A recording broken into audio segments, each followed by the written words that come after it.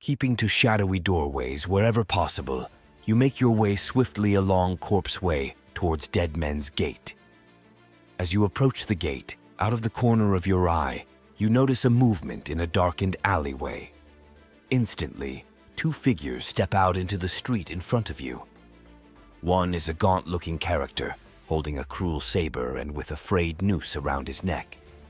The other is an attractive Kulian woman, with her long, shining black hair twisted into a plait, wearing finely made leather armor and wielding a thin sword. You recognize the first of your assailants from tales you have heard on your travels. He is the notorious pirate Silas Gallows. His companion is Wu Lin, a mercenary who joined Cinnabar's crew not long before the pirate lord was killed. Both bear the insignia of the Pirates of the Black Skull. So here we are at Dead Men's Gate, chuckles Silas Gallows, and soon there's gonna be one more corpse in Corpse Way. Wu Lin says nothing but advances towards you, her gleaming blade raised. Beat them win. Just outside the city walls lies the cemetery. Its pillared entrance is decorated with disturbing statues, and the fog merely adds to the eerie atmosphere of the place. Creeping between the weathered tombstones and mausoleums, you suddenly hear the crack of a twig somewhere off to your left and almost jump out of your skin. Spinning round, you are sure you catch a glimpse of something disappearing behind a grim sepulchre. You are not alone in the cemetery. Something else is also prowling around here during the hours of darkness. Peering round the corner of a crypt, you see two men who look like sailors walking away from you through the mist, carrying a heavy-looking chest between them. Where can they be going? And what are they up to? Follow the two men to see where they go. The smugglers eventually stop outside an old tomb overgrown with moss and ivy. Pushing open the granite door, they disappear inside. You wait a few minutes before lighting your lantern and passing through the portal yourself. Your lantern reveals a passageway leading away into the gloom. As soon as you step over the threshold, another light becomes visible at the other end of the corridor and starts to move towards you. Gliding along the passage is the apparition of an old man with sunken eye sockets and talon-like fingernails clogged with grave dirt. The sight of the glowing specter fills you with a sense of dread, and your blood runs cold when you see that the lantern it carries has been fashioned from a human skull. From the tales you have heard told of the Port of Crabs, you know that this must be the ghostly Jack-o'-lantern. The ghost does not attack you, but instead comes to a halt a few meters from you. Its jaw drops open, and the apparition utters one word. Password. Folklore has it that, in the past, pirates would kill one of their crewmen at the place where they buried their treasure, or at a location they wanted kept secret, so that in death the ghost would guard it unsleepingly. This is obviously what Cinnabar did here. Confidently, you speak the password. Crossbones. Holding your breath, you await Jack O'Lantern's reaction. You may pass, hisses the pirate ghost as he sinks into the earth in front of you. Not waiting to be told twice, you hurry along the passageway, which ends in a flight of steps that descend under the cemetery. At the end of a short passageway, you come to a T-junction. You can hear some noises to the right. You decide to be cautious and go left. You find yourself exploring the pirates' hideout, a collection of meeting rooms, storerooms, and sleeping chambers, but all appear to be deserted. You, our first assumption that the place is deserted, proves to be correct. Unhindered, you begin to search the rooms more thoroughly. Rummaging through chests and overturning boxes, you find a sword, enough provisions for five meals, and a total of 10 gold pieces. You are lucky. You also uncover a peculiar eight-sided blue gem in a silk-lined box. Having completed your search, you decide that it is time to find out what is going on here, so you head in the other direction past the T-junction. The tunnel soon ends at a closed door.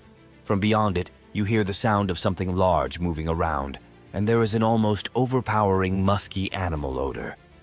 Boldly, you fling open the door. The monster that is trapped inside the room immediately turns to face you. It looks like a huge predatory cat with a fiery red coat and mane, a ridge of spikes growing from its spine, and huge fangs. Lashing behind the beast are several long snake-like tails, each ending in a stinging barb. This is truly a cat o' nine tails. You're somehow going to have to get past this monster if you are to find the pirates of the Black Skull. With a roar, the mutant bounds towards you, whipping its barbed tails at you in a sudden strike. You manage to dodge the creature's initial assault, but now you must go on the attack. The battle begins, you get wounded during the fight, but manage to kill the beast. Exhausted after such a titanic struggle, you take a few minutes to recover from the fight. Once you have caught your breath, you take a look at your surroundings. Now that you are no longer being threatened by a ravening monster, you take time to look around the room you are in. It is a Spartan affair, containing just a few pieces of broken furniture, but on the other side of it is a door leading onwards. You also notice an entrance to a cave with the iron portcullis that barred it raised. Obviously, the pirates let the Nine Tails out into the main room to stop anyone from following them. The mutant itself was captured by Cinnabar on one of his voyages and brought back to the Port of Crabs to guard the entrance to his innermost sanctum. Carefully, you open the door. You find yourself at the back of a vast hall, which is packed with black-robed devotees and scurvy-looking pirates. Ducking down behind a stack of crates, you see that at the other end of the great chamber is a huge, grotesque effigy. The thing has a skeletal human body with an oversized skull, Around the grinning skull is a feathered headdress, and in each hand is a blazing torch. Surely this statue is a likeness of the cruel voodoo death god Queskari.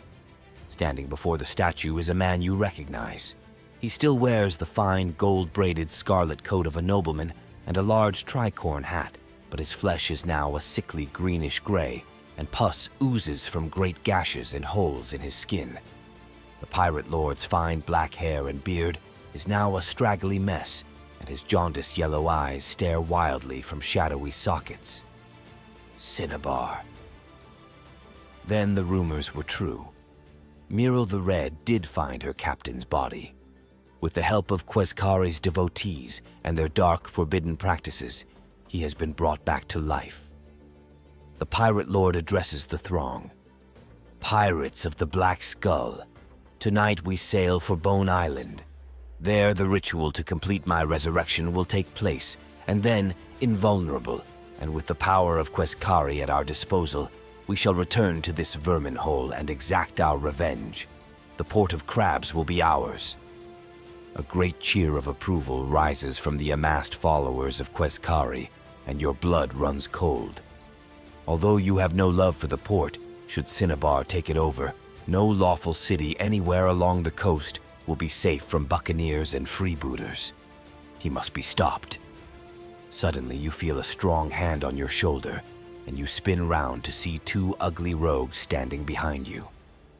You soon find yourself dragged before the undead pirate lord in front of Queskari's statue. In seconds, he has pronounced his sentence, and as you are taken away, he addresses his crew again. We sail with the tide at midnight. Following their captain, the pirates swiftly file out of the shrine. Meanwhile, you are taken to a pit at one end of the chamber and tied by your wrists to metal rings in the wall at the bottom of the pit. The pirates then abandon you to join their fellows. It is then that you notice a small hole in the bottom of the wall, through which water is starting to enter the pit. The hole links the pit with the sea. As the tide rises, so the pit fills with water, and soon you will be totally submerged. The water is already up to your waist. You pull on the rings, but they are securely embedded in the wall, and the rope shows no sign of breaking either. Rubbing the serrated edges of the shark tooth bracelet against the rope, you soon cut through the strands. You free yourself just before the water filling the pit covers your head. Climbing out of a potentially watery grave, you find your backpack and sword dumped nearby. Luckily, nothing has been taken. Without further delay, you hurriedly head off after the pirates. You soon find yourself at the edge of a huge natural cavern, inside which the sea has formed a large bay. At the far end of the cave is an entrance large enough to admit a sailing vessel. And sure enough, moored to a jetty at the edge of the water, is a great galleon. The ship flies the skull and crossbones flag common to all pirate vessels, and instead of a figurehead, you are disturbed to see a the Virago leaves the port of crabs behind under cover of darkness. When you are sure the coast is clear, you creep out of the room into a corridor. To your right is a door with the brass plaque, Captain, fixed to it. At the far end of the corridor, a staircase descends into the galleon. Another passage runs off from the first to your left, with a door at its far end and two unmarked doors to the left and right.